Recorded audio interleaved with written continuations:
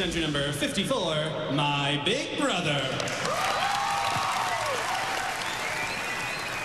I'm almost terrified. I just hope that Brady nails it because his confidence has been shaken since he's been back, and I feel like it's been rough for him.